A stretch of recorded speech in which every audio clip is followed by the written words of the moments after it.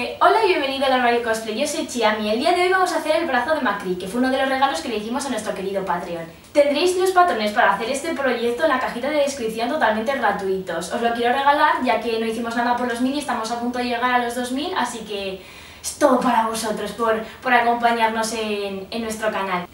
Recordad que podéis buscarnos en nuestras redes sociales, sobre todo en Instagram, ya que ahí publicamos tips para ayudaros antes que aquí, ya que aquí me cuesta más subir los vídeos, así que ya sabéis, suscribirlos y darle a la campanita ¿eh? para que os enteréis cuando subimos. Y no os olvidéis de pasaros por nuestra tienda de Exi, que es una manera muy buena para poder apoyarnos, ya que publicamos tanto patrones como algunas cositas impresas en 3D que la verdad es que están quedando cremita.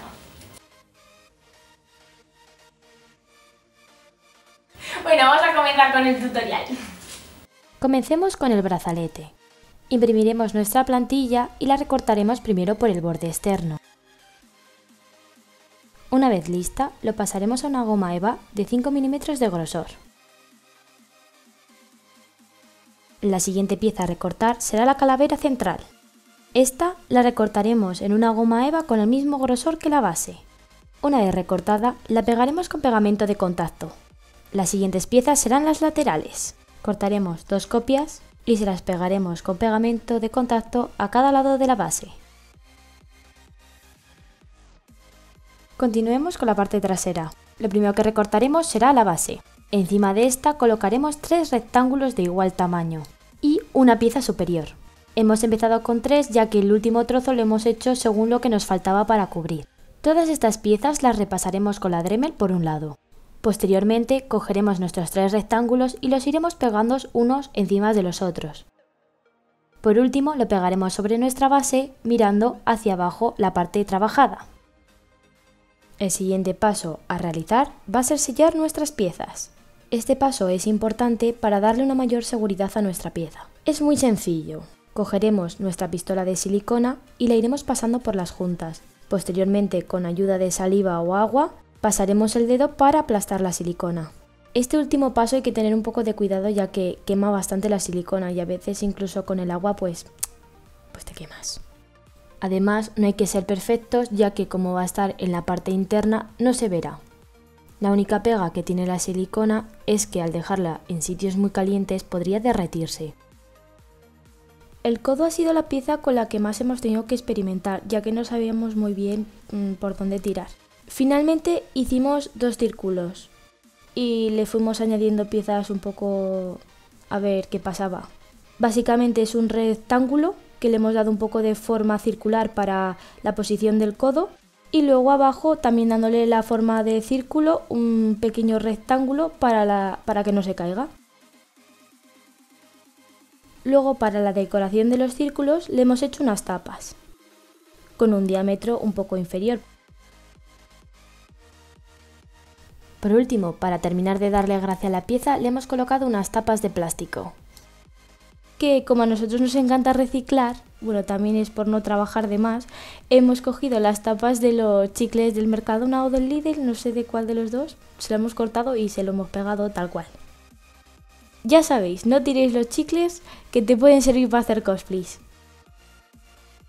La mano está formada por tres partes, la parte del dorso, los dedos con los nudillos y los laterales. La parte del dorso es sencilla. Cogeremos las plantillas, las pasaremos a la goma y después las recortaremos con el cúter. Posteriormente pegaremos las piezas unas encima de las otras, siguiendo la guía, utilizando pegamento de contacto. Lo siguiente que le añadiremos serán los laterales. Esto lo recortaremos en la misma goma y les daremos calor con la decapadora para darle forma. Por último le añadiremos una tira en la parte de la muñeca y con esto ya tenemos la base hecha. Para terminar la decoración del dorso le añadiremos la última pieza en una goma más fina. Básicamente es el mismo proceso que hemos llevado con el brazalete, por lo que no nos vamos a detener mucho más en ello. Continuemos con los dedos. Primero os vamos a explicar cómo hacer los nudillos. Para hacerlos vamos a aprovechar la tira de los laterales. Cortaremos dos tiras por cada dedo. Pondremos un poco de silicona caliente en el centro y la doblaremos por la mitad, ayudándonos con una pinza para que se seque bien. Posteriormente lo cortaremos más o menos a la mitad para que no sea tan alto. A continuación cortaremos tiras pero en una goma eva más fina todavía. Las estiraremos bien y marcaremos más o menos dónde va cada nudillo. Posteriormente con un poco de silicona caliente pegaremos los trocitos que acabamos de cortar.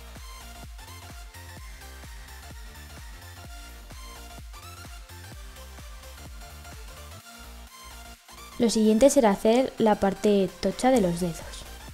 Es muy sencilla, solo tenemos que cortar las plantillas que ya van con solapa en una goma eva del mismo grosor que hemos hecho la mano. Les daremos calor con la decapadora y le daremos forma. Con esto ya tendríamos todas nuestras piezas listas. Lo siguiente tendríamos que imprimarlas y pintarlas. Esta parte no la tengo grabada ya que voy pintando un poco por donde puedo. Pero estoy preparando un sitio donde poder pintar bien con luz y así en los próximos tutoriales poder enseñaros todos los pasos. De todas maneras os voy a decir todos los materiales que hemos utilizado. Para imprimar hemos utilizado la imprimación vinílica de Montana Colors. Posteriormente hemos utilizado un spray metálico de la misma marca y hemos ido envejeciendo la pieza con acrílico negro presionando con un trapo. Lo único que nos queda va a ser el montaje de todas las piezas. Primero colocaremos la pieza central sobre el codo, situándolo en la circunferencia que vaya en la parte delantera. Una vez fijado con el pegamento de contacto lo sellaremos con la silicona.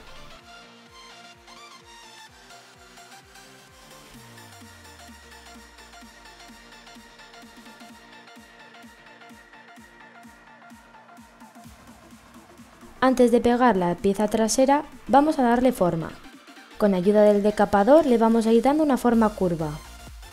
Esta parte suele hacerse antes del pintado.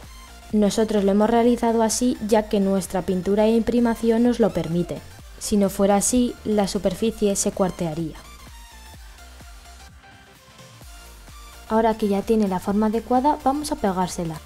Se la pegaremos por la parte lateral de la pieza delantera y no se la uniremos al codo, ya que si no no podremos abrirla y cerrarla para podernosla poner. Una vez pegada, procederemos también a fijarla con silicona.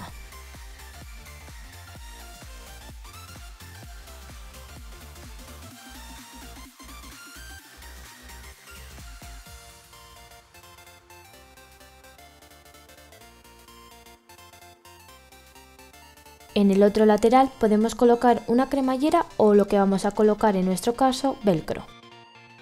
Para la parte de la mano necesitaremos un guante. En él iremos pegando las piezas de los dedos, colocando entre medias los nudillos. Es decir, primero colocaremos la pieza del nudillo en su lugar y posteriormente la pieza del dedo encima para tapar las juntas. Por último, le añadiremos el dorso,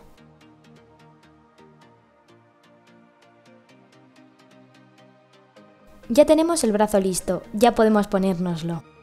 Como veréis, hay algunos detalles que hemos añadido después. Esto dependerá de cuánto queráis decorar vuestro brazo. Los detalles que añadimos posteriormente fueron trozos de goma eva azul y marcas en la goma para hacer parecer que eran tornillos. Estos los hicimos con un soldador con cabezal redondo. Además, en último momento encontramos una cuerda que se parecía a la del original, así que se la añadimos. Hasta aquí el vídeo de hoy. Sobre todo no te olvides de suscribirte para no perderte ninguno de nuestros super tutoriales de cosplays. Y después pasarte a este otro vídeo para seguir viendo cómo hacemos nuestros trajes. Gracias por estar aquí, nos vemos en el próximo vídeo.